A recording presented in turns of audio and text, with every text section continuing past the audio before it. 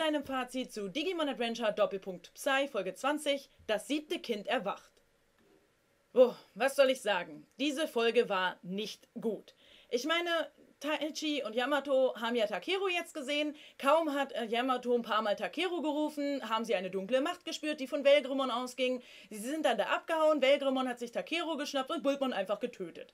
Ja gut, okay, Velgremon ist die Finsternis, der kann drauf scheißen, aber hätte man Bultmon nicht vielleicht noch gebraucht? Es war eigentlich nur, um zu zeigen, wie mächtig Velgremon ist. Das habe ich auch am Anfang noch geglaubt, weil ich eigentlich der festen Überzeugung war, dass wir jetzt auf Angemon in dieser Folge treffen und Angemon Velgremon besiegen wird, weil Licht und Finsternis halt.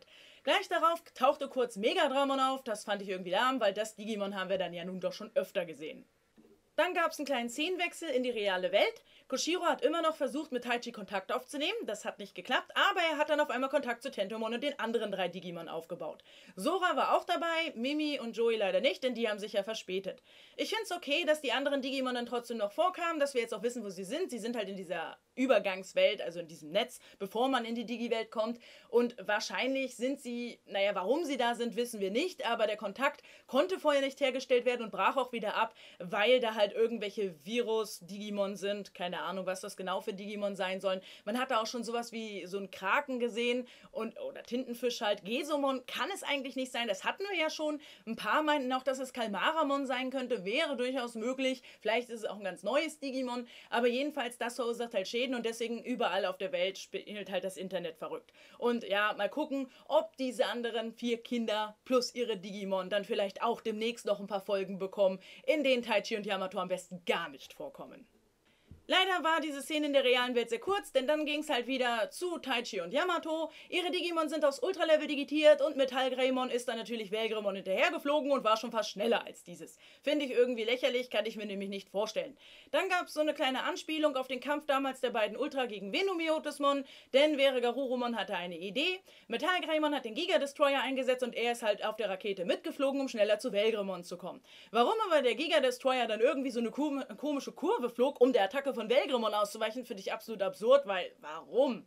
Und dann hat er halt eben mit dem Trident-Arm, hat er halt Velgremon festgehalten. Die Idee finde ich ja nicht schlecht, aber dass Velgremon nicht mal versucht hat, diesen Arm abzuschütteln oder auszuweichen, das Digimon war einfach nur Kanonenfutter, ehrlich gesagt. Das finde ich schade, weil Velgremon naja, es tauchte nur in Frontier auf. Jetzt hat es seinen zweiten Anime-Auftritt und es ist halt nur blöd. So, und dann total übertrieben, Yamato rennt auf diesen Trident-Arm, obwohl sie mitten in der Luft sind und sich bewegen und das wackelt und herunterstürzen und sterben könnte. Aber yo, der ist todesmutig und rennt da lang, nur um eben zu seinem Bruder zu gelangen. Aber ja, Masaru ist immer nur übertrieben, aber diese Kinder hier natürlich überhaupt nicht. Und dann versucht der Takero zu befreien, aber da ist dann natürlich so eine dunkle Energiekugel und er hat Schmerzen und so. Aber das ist scheißegal, er hält diese Schmerzen durch und versucht diese Barriere zu durchbrechen. Dann geht's die ganze Zeit Takero, Bruder, Takero, Bruder und es zieht sich ewig lange. Und ja, natürlich hat er es dann geschafft, mehr oder weniger diese Barriere zu durchbrechen, indem Takero halt aufgewacht ist und weil man natürlich dann auch die Wappenleuchten gesehen hat und Angemon, das sich mehr und mehr von seinen Ketten befreit. So, ähm, während Yamato versucht hat, Takero zu befreien, hat Velgamon immer wieder mit seinen dunklen Federn angegriffen, aber das hat Yamato nicht gestört und wäre Garurumon hat die einfach weggeschnippt und Metallgreymon und Taichi hat das auch nicht gestört. Die wurden zwar getroffen, aber es war scheißegal. So, eigentlich hatte ich ja wirklich gedacht, nach wie vor, dass es jetzt soweit ist, dass Metallgreymon und Vera Garurumon absolut nichts ausrichten können und Angemon dann eben kämpft und wir es auch in Action sehen dürfen und dass es dann Velgremon besiegt. Was ist aber passiert? Ja, Velgremon hat dann erstmal eine Laserstrahle eingesetzt. Der hat dann natürlich ein bisschen Schaden angerichtet. Anschließend hat er Takero wieder entführt. Ja, toll. Aber dann tauchte halt eben Angemon auf, der Takero dann gerettet hat. Anschließend hat er die beiden Ultralevel-Digimon geheilt und die haben Velgremon dann erledigt. So, das fand ich irgendwie sehr langweilig, vor allen Dingen, weil Metallgreymon drei Attacken einsetzen durfte und von Vere Garurumon wir erinnern uns, er konnte in Digimon Adventure ja auch Garuru Kick, das hat er ja auch gegen Venomiotismon eingesetzt. Aber nein, der setzt immer nur eben Wolfskralle, also Kaisernail ein. Immer und immer und immer wieder.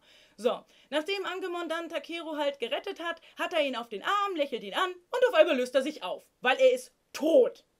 Okay, ich meine, ja gut, wenn man ja im Prinzip bedenkt, dass er ja da festgehalten wurde und es irgendwie geschafft hat, sich zu befreien, aber mein Gott, er heilt die nur und dann ist er tot und dann taucht er als Digi-Ei auf, wird aber dann auf einmal von Skull Knightmon gestohlen.